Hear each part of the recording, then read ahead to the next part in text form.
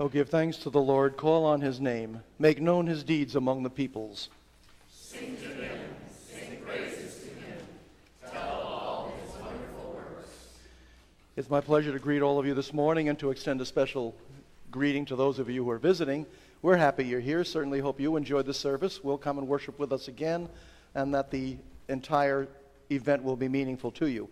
I also invite you to participate in any of the programs that the chapel sponsors. This is the first Sunday of our new church year, and uh, there are lots of things happening.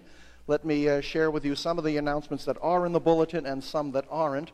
First of all, we've got a little bit of a, a little bit of a snafu on the opening page with who's doing what. Uh, the spacing is a little bit weird there, so uh, Flo Bickel is the organist, uh, Sally Ploger is the soloist, Kelly Miller's playing the chimes. Uh, then we've got the Divisors as the uh, greeters and the Orange Juice Fellowship, and uh, Jan Burke is our liturgist. So aside from that, uh, everything's right, which makes about makes about two things being right. but, but anyhow, if that's the worst that happens, we're in really good shape. In terms of our announcements, uh, there is one there about the Haven of RCS Faces of Domestic Violence. That luncheon is on October 27th, and a number of people from the church often go. If you are going, the instructions are to call Nina at, uh, uh, at RCS to make your reservation, but indicate whether or not you want to sit at the table with other people from the chapel by the sea. And that will be taken care of then through, um, through RCS. Uh, this is the, we've got an envelope in your bulletin. Uh, this is the last Sunday we're going to be collecting for those who wish to contribute to aid to Louisiana and Italy, where they've had all those uh, tragic uh, natural disasters. So if, if, you're going to use that envelope, it would be for that purpose, and there are baskets in the Friendship Foyer and in the narthex to receive your offerings. Next week, we're going to start collecting for our Stop Hunger Now program. That's going to be on October 15th. Uh, that's where we put together 15,000 uh, meals for people in undeveloped countries. We need money to pay for buying the materials and for shipping them. We need in the neighborhood of $4,000, a little over $4,000. So I'm, I'm, warning you ahead of time if you wish to contribute to that, and you've always been very generous with that. It's a wonderful program. We will start collecting for that next week. And Rick Owen is in the Friendship Foyer if you already know that you want to contribute something and or you want to volunteer to help put together the meals. So he does have sign-up sheets that can be taken care of this morning. I'll let you read the little announcement from Linda Walter about having a, uh, a sleep, uh, a sleep number bed. Uh, she's not going to bring it here. You can't use it during the sermon time. So, uh, but, it, but that is available and the information is there. The luncheon today, uh, this is for, um, this is for this, uh, the Sunday school. They're, they're having their kickoff luncheon today, their kickoff program. Uh, Joe Cregan, our education director, has put together a wonderful uh, lunch program. There are going to be pizza, blizzards from Dairy Queen, and prizes. So what, the kids who are here, I'm sure that they're all going to look forward to that. I also want to make mention of the fact the new screen came in. The rest of you are going to get to see it next week when we have our, uh, uh, our, our, theater open house, so to speak, after the worship service instead of just the uh, more limited orange juice fellowship. We'll be having some, some hors d'oeuvres and orange juice in Chapel Hall so you can see the new setup. But yesterday, Joe Cregan and uh, Rick Fry were working on that thing from the morning until after 11 o'clock at night, putting it up, putting it up. It's an enormous screen. It covers practically the entire stage. So next week you're going to get to see that. So uh, Rick and uh, Joe were here all day yesterday, and Steve Spencer and uh, Rick Menke were here most of the day helping with that. And uh, uh, I popped in and out to encourage them, and they they really worked hard. So we thank them for all their efforts, and you're going to see the results of that next week. I think that pretty well covers. Oh, no, that's it. I covered covered all my announcements. So uh, I, I trust that you will read the rest of them. Let's now begin our service of worship.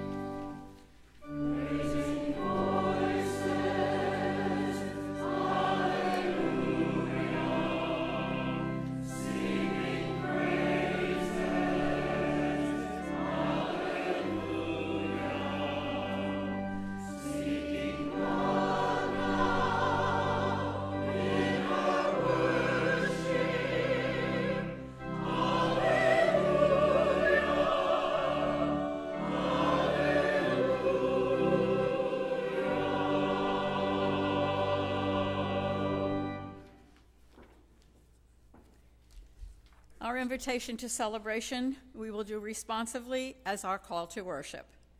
On this day, we look to the past. And we remember what happened 15 years ago on 9 11. On this day, we look to the present. And strive to see what lessons we have learned as we face tomorrow. Today, we look to the future. And commit ourselves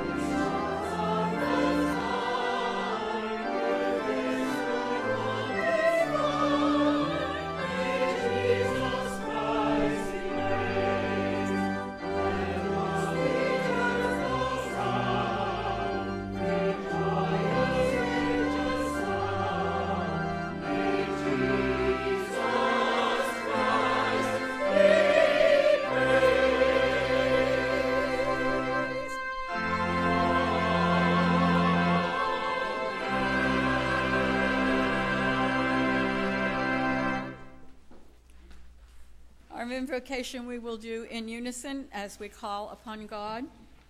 God of the past and the future, it is the present that we learn from the past as we prepare for the future. Grant us greater strength and courage as we face whatever tomorrow might bring. Show us where and when we have been less loving and caring than you want us to be. Enable us to change from what we are into what we can become. Open our hearts and our minds to the needs and concerns of our fellow creatures, so that a too often violent and hating world might be made different. Lift us, even now, as we pray in Jesus' words Our Father, who art in heaven, hallowed be thy name. Thy kingdom come, thy will be done, on earth as it is in heaven. Give us this day our daily bread, and forgive us our trespasses, as we forgive those who trespass against us. And lead us not into temptation, but deliver us from evil. For thine is the kingdom, and the power, and the glory forever. Amen.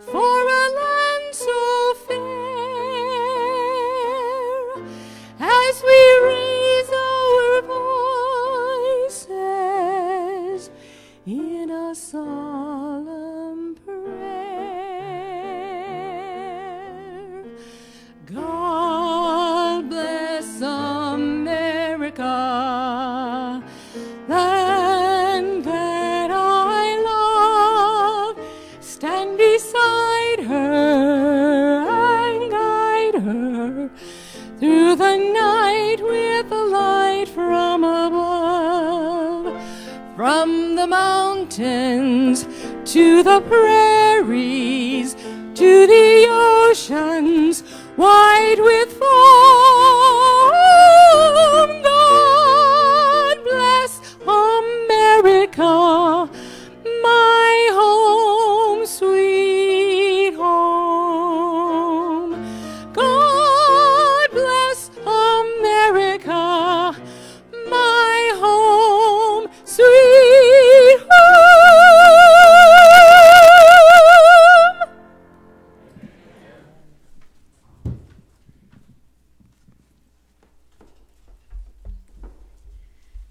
gratitude for the many gifts that we have received and in commitment to the work of this church, let us be generous in our morning offering.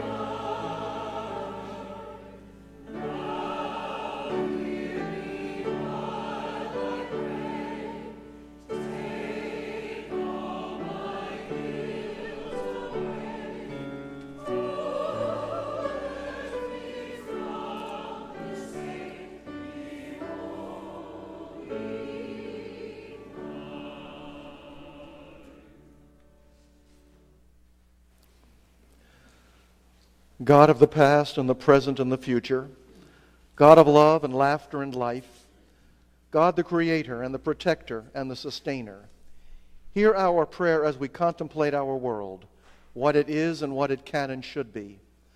On this 9-11, we remember what happened 15 years ago and realize that the impact of that event has changed our world. We are no longer as accepting of differences or as trusting of others. We no longer feel as secure as we once did. We no longer work as hard at loving our neighbors, especially those neighbors who are not like us.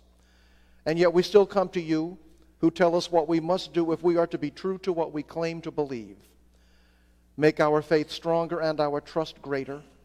Enable us to overcome our fears and live life to the fullest in hope and joy. Grant us the grace to work toward becoming all you want us to be.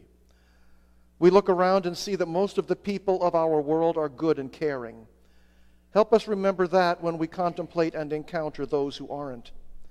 Make us more civil and compassionate, less intolerant and angry, more kind and uplifting, less discouraging and denigrating. Show us that we are indeed part of your universal family and that our kin are all the people of the world. So we pray, coming to you now with great humility as we seek to articulate our own private and personal concerns.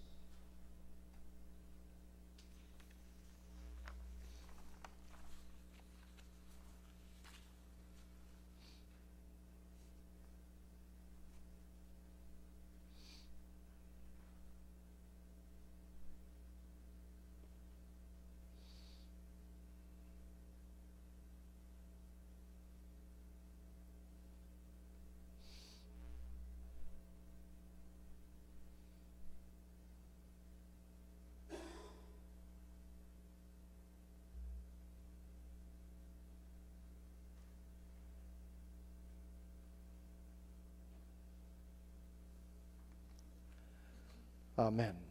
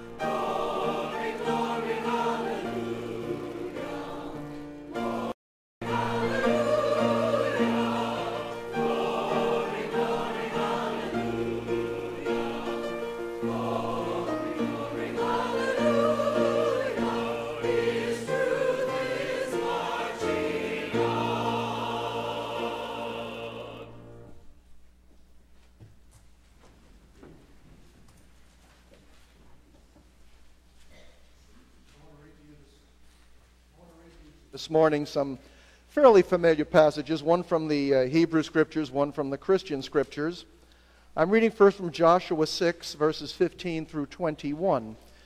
And uh, this occurred as the, uh, the Hebrews, after their escape from Egypt, were moving into uh, what they called the Promised Land. Again, Joshua 6, verses 15 through 21. On the seventh day they rose early at dawn and marched around the city in the same manner seven times. It was not only that day that they marched around the city seven times, and at the seventh day time, when the priests had blown the trumpets, Joshua said to the people, Shout, for the Lord has given you the city. The city and all that is in it shall be devoted to the Lord for destruction. Only Rahab the prostitute and all who are with her in her house shall live, because she hid the messengers we sent. As for you, keep away from the things devoted to destruction, so as not to covet and take any of the devoted things, and make the camp of Israel an object for destruction, bringing trouble upon it. But all silver and gold and vessels of bronze and iron are sacred to the Lord. They shall go into the treasury of the Lord. So the people shouted, and the trumpets were blown. As soon as the people heard the sound of the trumpets, they raised a great shout, and the wall fell down flat. So the people charged straight ahead into the city and captured it. Then they devoted the destruction by the edge of the sword all in the city, both men and women, young and old, oxen, sheep, and donkeys. Let me read to you now from Revelation chapter 19, verses 11 through 16. Then I saw heaven opened, and there was a white horse. Its rider is called Faithful and True, and in righteousness he judges and makes war. His eyes are like a flame of fire, and on his head are many diadems and he has a name inscribed that no one knows but himself. He is clothed in a robe dipped in blood, and his name is called the Word of God. And the armies of heaven, wearing fine linen, white and pure, were following him on white horses. From his mouth comes a sharp sword with which to strike down the nations, and he will rule them with a rod of iron. He will tread the winepress of the fury of the wrath of God the Almighty. On his robe and on his thigh he has a name inscribed King of Kings and Lord of Lords. May these words acquire greater meaning for us as we continue together in our worship this morning.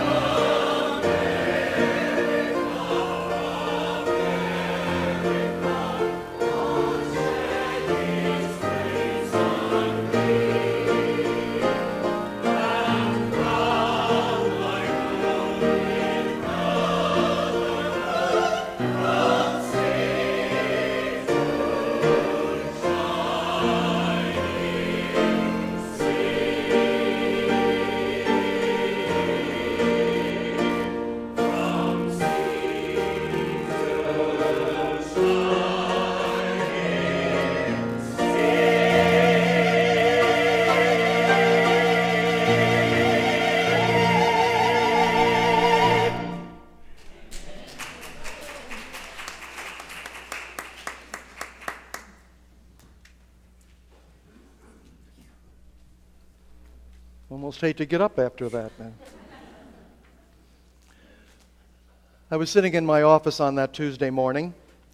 I'm not sure what I was doing, but whatever it was, I was interrupted by a phone call from Herb Early, one of our sextons, telling me to turn on the small television set that we had here at the time. The screen came on and revealed an image which might have been a scene from a science fiction movie. There were two skyscrapers next to each other, and one of them was on fire about three quarters of the way up. As I tried to hear what the newscaster was reporting and thinking that there must have been some kind of terrible accident, another plane flew into the other building. Now it was obvious that what was happening was not accidental. I did not need the reporter to tell me that these were the Twin Towers in lower Manhattan, and there was not a whole lot more information he could share because details at this point were sketchy at best. The chapel staff remained glued to the tube as images emerged of smoke and debris raining down on the streets of New York City, of people, some of them covered with dirt and blood, running away from the destruction, of police officers and firefighters rushing toward what was turning more and more into a nightmare of flames and rubble, of sirens blaring and people screaming and smoke billowing, and newscasters trying desperately to find out what was going on of first responders attempting to put out blazes, while others, organizing, made plans to search for survivors and rescued all who could be rescued. After all this time, I don't remember the chronology of the reporting. I don't remember when we were told of the plane which had struck the Pentagon and about how many lives had been lost and how much damage had been done. I don't remember when we learned that still another plane had come down in a field in Pennsylvania or that this happened because the passengers, hearing of the Twin Towers assaults, took matters into their own hands and attacked their attackers, forcing the plane to crash rather than destroy more lives at another target. I don't remember how and when information emerged regarding all those who all those assassins were, or the extent of the devastation in terms of lives and property lost. I do remember that, needless to say, we did not get a whole lot of work done that day. Today, today is the 15th anniversary of 9 11. And we are still living with the aftermath of that tragic and incomprehensible event. Almost 3,000 people were killed in the attacks on the Twin Towers. Hundreds more died as a result of the attack at the Pentagon and the crashed plane in Pennsylvania and tens and tens of thousands have lost their lives and their homes, most of them in the Middle East, but also in America and Europe, because of retaliation back and forth subsequent to that horrendous day. Suspicion for the attacks quickly fell on Al Qaeda. The United States responded by launching its war on terror as it invaded Afghanistan to depose the Taliban, which had harbored Al Qaeda. Osama bin Laden, Al Qaeda's leader, initially denied involvement in 9 11, but in 2004 claimed responsibility, citing United States support of Israel, the presence of American troops in Saudi Arabia, and sanctions against Iraq as motives. It took almost 10 years for bin Laden to be brought to justice, and the repercussions of what happened 15 years ago are still felt all over the world as terrorism has grown in impact and increased in violence. Additionally, there is no end in sight, political and military promises notwithstanding.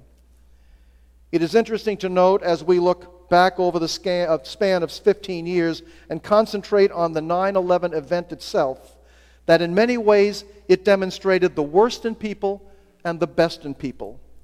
Now we can see where 9 11 demonstrated the worst in people as we look at the hijackers themselves and the organizations and the movement which they represented.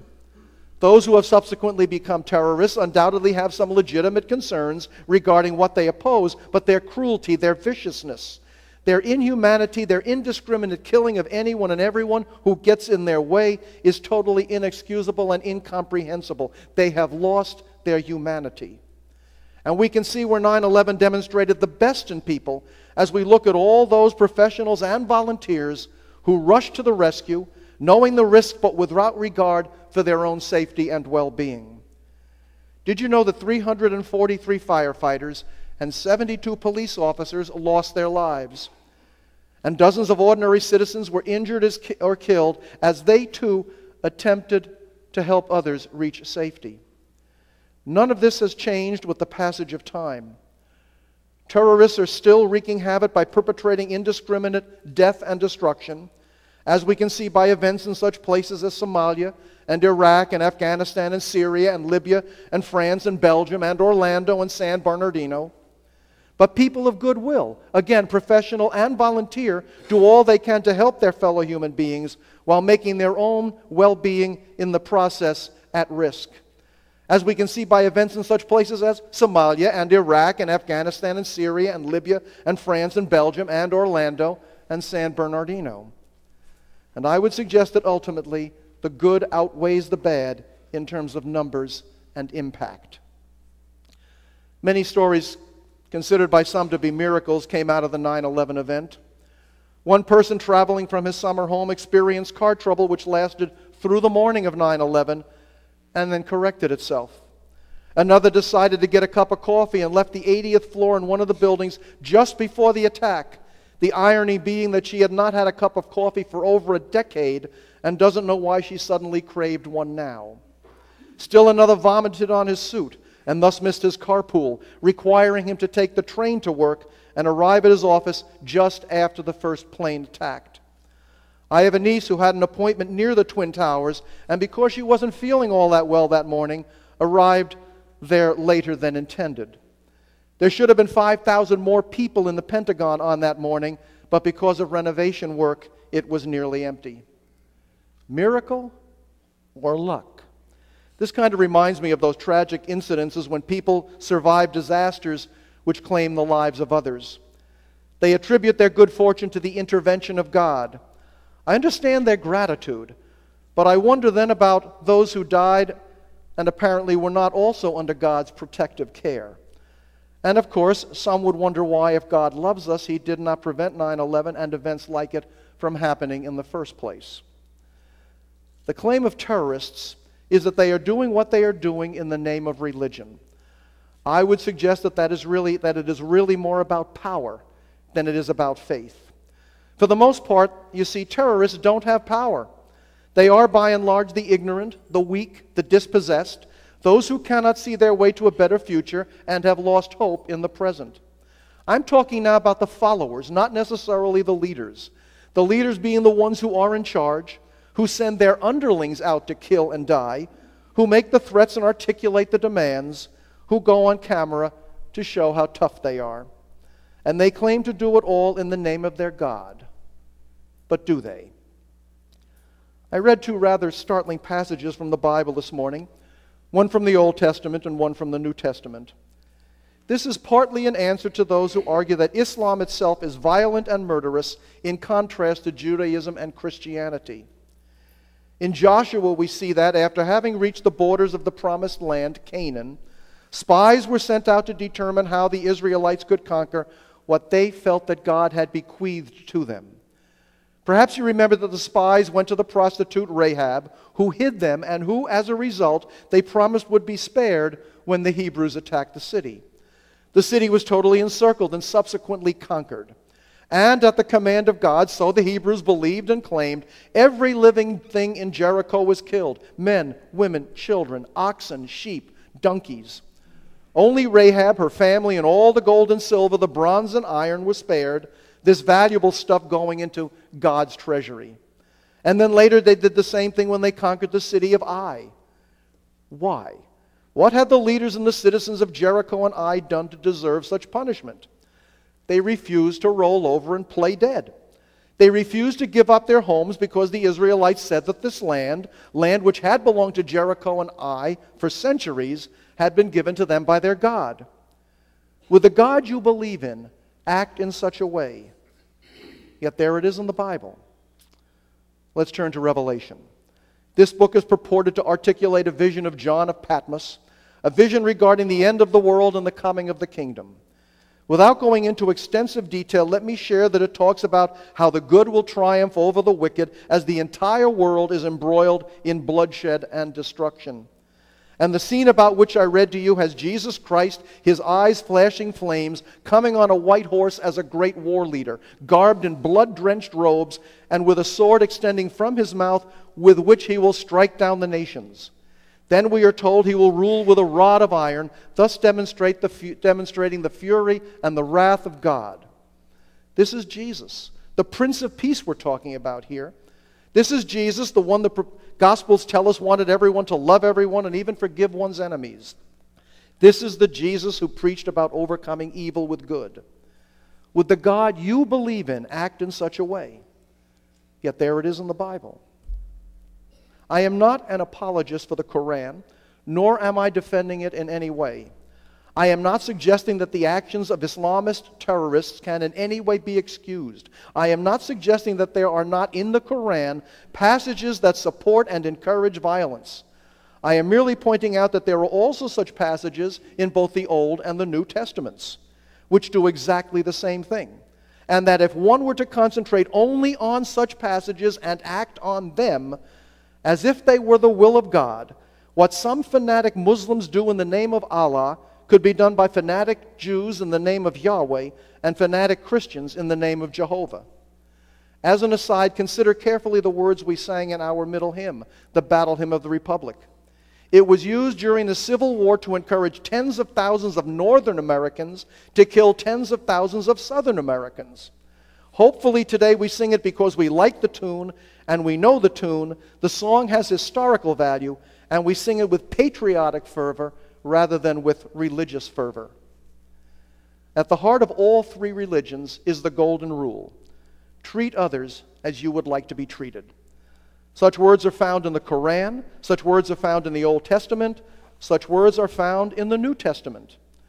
Are there other contradictory words also found in these three holy books? To be sure which is why Muslims and Jews and Christians have to decide which words better describe their perception of God and what God wills from his people in terms of their thoughts, their attitudes, their actions. On this 15th anniversary of 9 11, let's remember that horrific event with grief and with anger. But let's put the blame where it belongs squarely on the heads of those viciously vengeful nuts and hate filled thugs who were responsible for ha- what happened and tried to justify their actions by claiming that they did it in the name of God. But let's also remember those who died on 9 11 as victims or as rescuers Christians, Jews, Muslims, Buddhists, Hindus, atheists, and representatives of numerous religions and cultures with admiration for their bravery and sorrow for their loss. Tragedy can bring out the best or the worst in people. 9 11 did both but more of the good than of the bad. And I think God wants us to stick with that golden rule no matter what.